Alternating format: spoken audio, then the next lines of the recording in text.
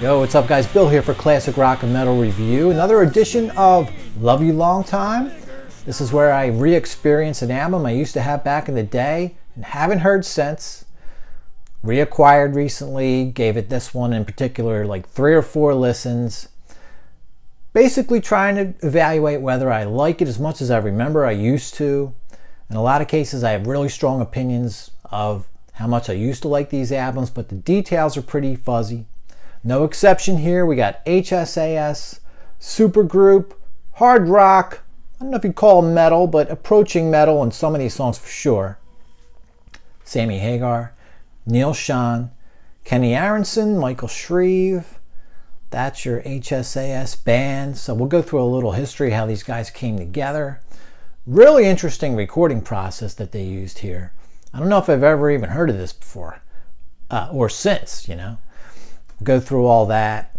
Uh, this is a reaction type episode, guys. Uh, I basically have to, some of these albums I just happen to reacquire anyway, you know, some of the ones that we've already done. But, you know, I have a list written down of albums that I can't wait to hear again. So there'll be our future episodes coming up. TNT, Tokyo Blade. I know it's a lot of metal, but they're the albums that I like basically haven't had in like I said, 35 plus years. HSAS, another one.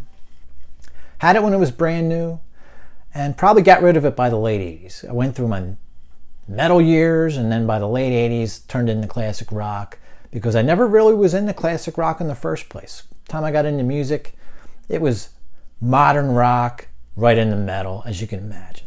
So, anyway, ditched this guy by the late 80s. Still have strong memories of it, so we'll go down all that, do a little comparison thing, sort of. Uh, you know, what's fun about doing this episode, and really all my reviews that I do, I go on like a deep dive for information about the band, the album, the era that I'm talking about, whether it's a concert review or a Love You Long Time. And you know, in a lot of cases, I found I've not only find out things that I forgot, I find out a lot of new stuff. I mean, obviously back in the 80s, pre-internet era. You know, really the only things you knew were word of mouth, maybe some metal shop info, and some magazine articles. So that was kind of it. All right, guys, let's get into it. Uh, today I'm going for my second margarita.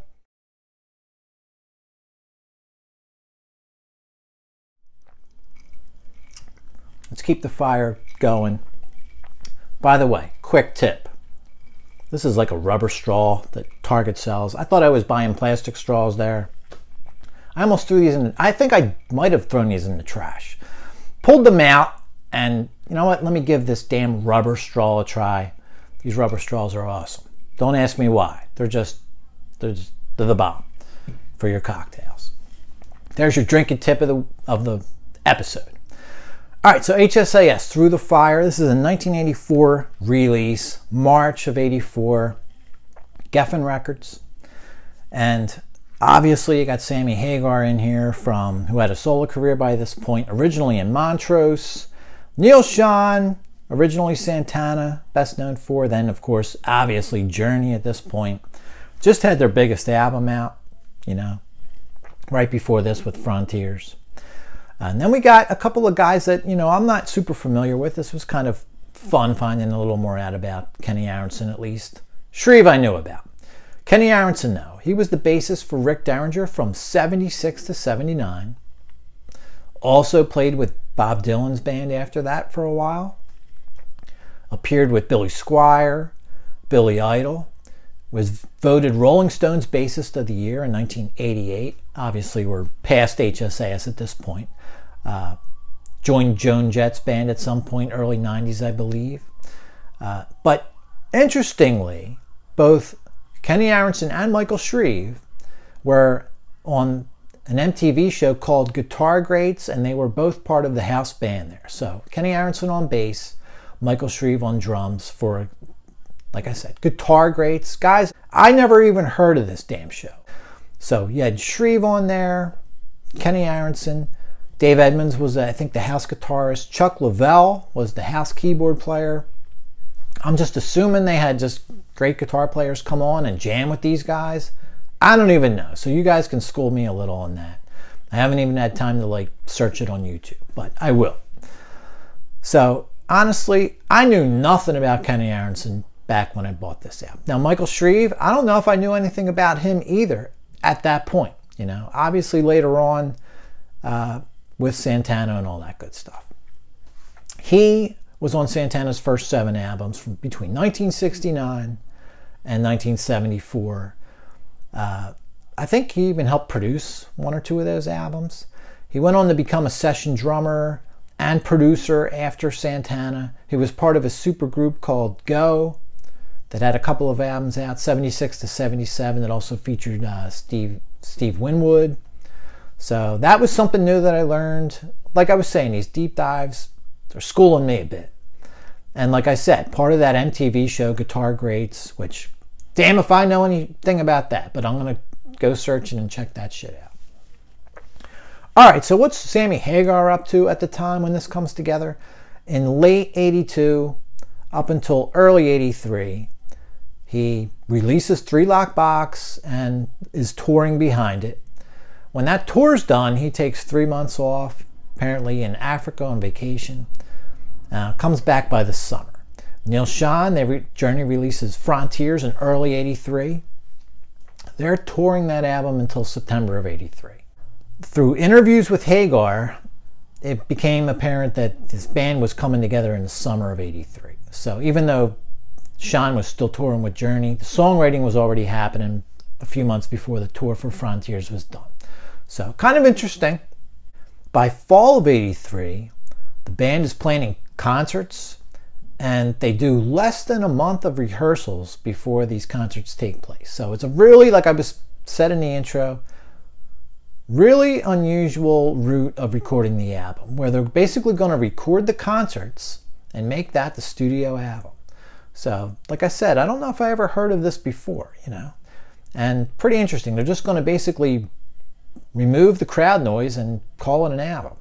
So, Westwood One Mobile is the recorder for the album, or the eight shows that they put on to record to potentially be on the album. Three of them at the Warfield Theater in San Francisco, three more San Jose Civic Auditorium, and two more in San Rafael, California. And that's really it. The dates of these, there's November 9th on some records and November 10th on another. But nevertheless, the 9th or the 10th becomes is the first show. Things wrap up November 21st, 1983. So that's it. You know, these eight shows are what makes up the album. And one of them ended up being aired on MTV. So I'm not really sure of whether that was multiple shows pieced together or just one show. But uh, I meant to check that out on, on YouTube and forgot to, really. I've been a little busy. The weather's getting good. My ass is outside drinking margaritas, all right? Most, but not all, of the crowd, no crowd noise was removed for the album. Kind of, like I said, just a really interesting way of recording an album, you know? They do some studio touch-ups, some post-production in December of 83. And the album released in March 1984. Lead single for the album, I think the only single actually, cover song of Procol Harum's Whiter Shade of Pale. Uh, so we'll go down a review of all these songs, obviously. It's what we do here. We drink and we talk, you know. So let's get into Whiter Let's get into Through the Fire.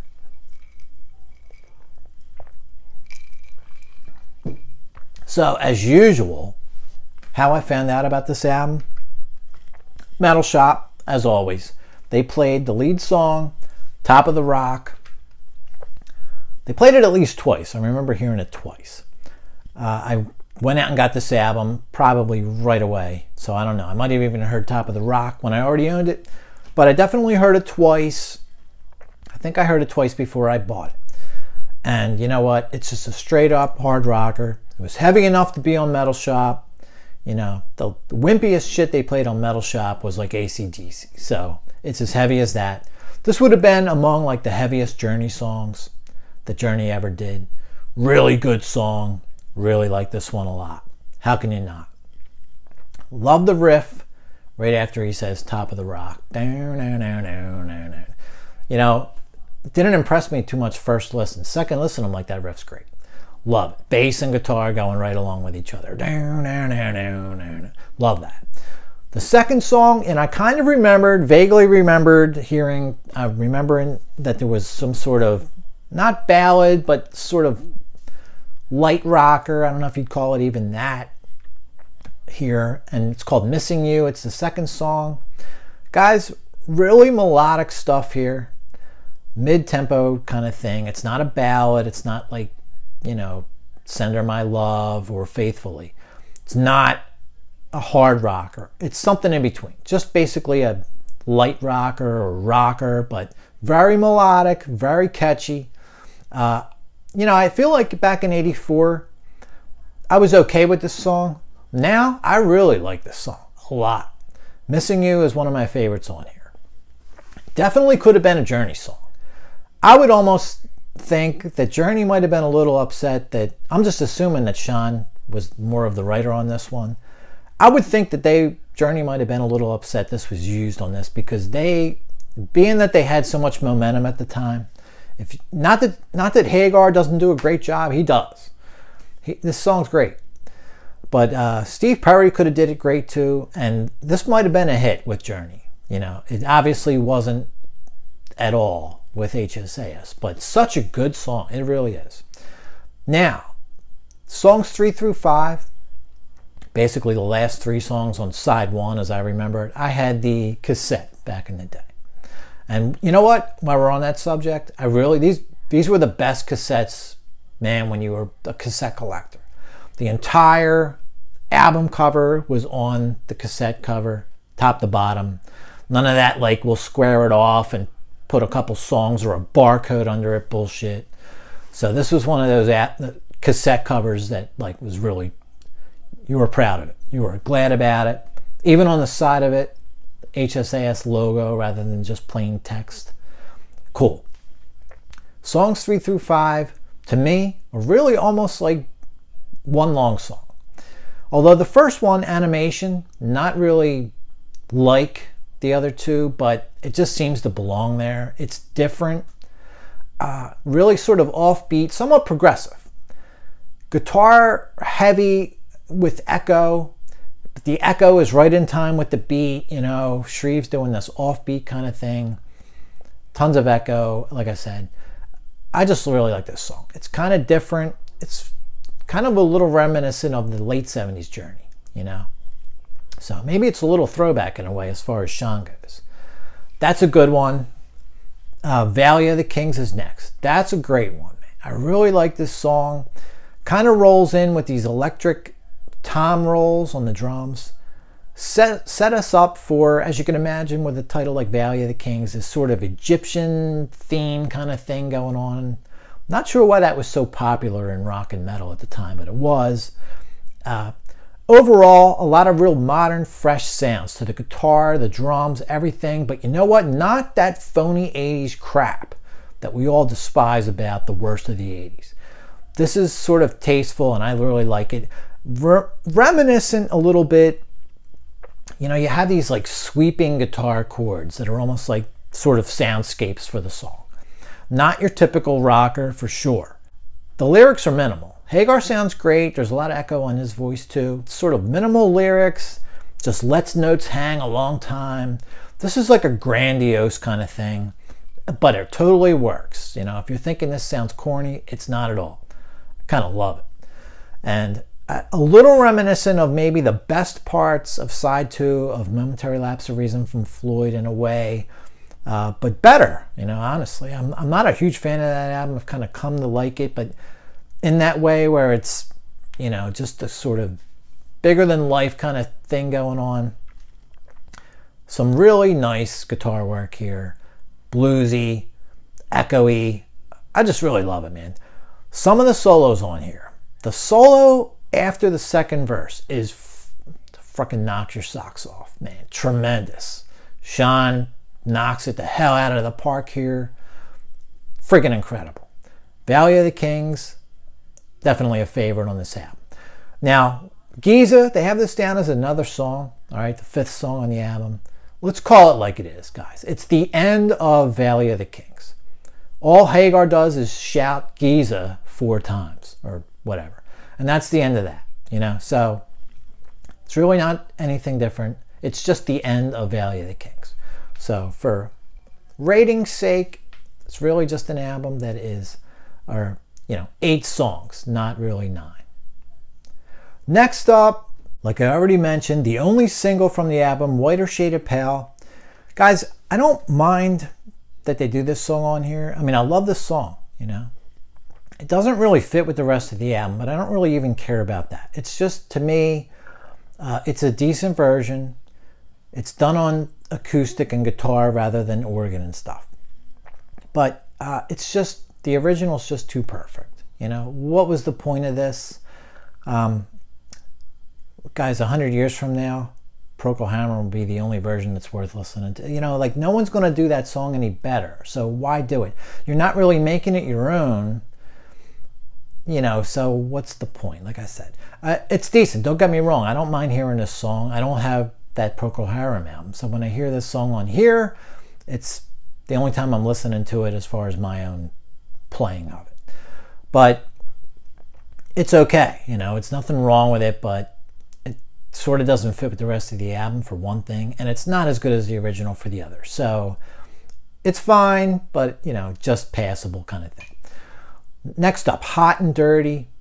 Guys, another one that's, you know, it's a it's a decent hard rocker. Uh, you know, pretty one of the heavier songs on the record for sure. But I don't love it. It's good. It's okay. You know, I don't mind it. It's not a standout to me. Uh, and this album does have some definitive standouts to me. This one's just okay. Uh, you know, just a little basic and not something very special you know, I'm just going to leave it at that. I don't love Hot and Dirty, but I don't hate it either. But it's just okay. All right, number eight, He Will Understand. This song kind of pisses me off because, as far as whether this is a love you long time, this is kind of where I think we're in sort of no man's land. This was the deal breaker for me. Uh, first of all, this song could have been a Journey song, for one thing, in my opinion. Real nice acoustic electric or electric acoustic intro and these kind of sort of off time I don't even you know it kind of reminds me actually it does remind me it reminds me of Robert Plant's horizontal departure Well, that's the beginning of that song before it gets to the chorus it just has these sort of rim shots it's not real heavy but it's neither here nor there as far as guitar sound uh, some real cool verses in this. There's some cool bridges, music only bridges, you know. But the chorus is just a total clunker to me. You know, I don't, it just seems like a chorus they came up with real quick to finish the song. Uh, I feel like this song is a good chorus away from being really good, you know, but it's not, it's not even good. It's just, I don't even like it at all. The chorus just sounds like something you know a teenager could write in amongst all this rest of this album that is Hagar and Schon and freaking pretty good for the most part. And you know what other other interesting thing about this song? It starts studio. At the end of it, it ends live. So I don't know if that was just a little nod to the whole recording process that the band decided to throw in there or whatever, but just a little weird. And you know, it was back in the day, I remember wondering what the hell's going on. This song, song didn't start this way, you know. So that's I kind of feel like he will understand as the deal breaker for me with this album. As far as Love You Long Time goes, now it's it's not bad. It just had potential to be amazing or really good. Uh, Hagar and Schon produced this album, which they did a great job overall. Really can't complain. But this is the one song where I feel like maybe an outside producer who had some song arranging and songwriting experience would have picked that up and said, guys, you know, not only is that chorus a little sort of, you know, cheesy, it doesn't even really fit with your verses and your bridge. It goes off in a hard rock direction after you do all these sort of acoustic electric things and so forth. So he will understand It freaking bothers me, you know, because that's the song that I think's the deal breaker with this. Because the ninth song and the final song is My Hometown. It's the heaviest on here, but that's not why I love it. It's just a great friggin' song. Really love My Hometown. I think it's all live, if I remember right. Great tune, kicks ass. It just goes to show you, man, you don't need fancy verses and bridges and choruses. You just need to get the right three chords in a row and the right melody and vocals and stuff and kick ass. My hometown kicks ass. And you know what? I kind of forgot that how much I like. I don't know if I ever liked this song as much as I do now back in the day. So guys, first of all, we got to throw Giza out of the equation. It's really just the end of Valley of the Kings. That leaves us with only eight songs. I really like or love five of them. All right. I gave this an eight back in the day.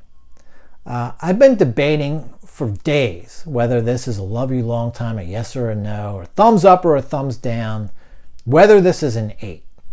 And basically, the question is does five out of eight songs being really good and three just okays equal an eight? Uh, it's a really tough call. I'm gonna I'm gonna actually wuss out and ask you guys to tell me is this album an 8 out of 10 or not? If I had to make a decision, gun to my head, I'd have to be honest and say no. Uh, the weird thing here about it is that, you know, sometimes the songs that you love make up for those weak ones. In this case, I'm not really sure, but I have to tell you, I really, I think I love some of these songs more than I liked them back then. I just don't know if that equates to an 8 out of 10. I think I tolerated a few of these songs back in the day and loved some so much, but I feel like it's almost like different songs that I like now, you know? I probably loved Hot and Dirty back in 84, where now I love Missing You, you know? So I'm going to kind of cheese out and give you ask you guys to tell me whether this is a, an 8 out of 10. Love you long time. But I will make a call just in the interest of the episode. If I had to say yes or no, I'm going to have to go thumbs down with this overall. However, I am really glad to have this album around again for those five or six songs, if you count Giza as one, that I really, really love. Three sort of let me downs in between side one and the final song of the album. Guys, there you go. Love you long time. HSAS, Through the Fire. I recommend you buy it burn it in iTunes, skip a few songs, make your song, make yourself a six or seven song version of this, and you'll love it. Uh, fun one to revisit, man. These revisiting these albums, it's like a head trip, honestly. Good stuff. Guys, I'll catch you later. Super deluxe and box set editions coming up next, hopefully soon.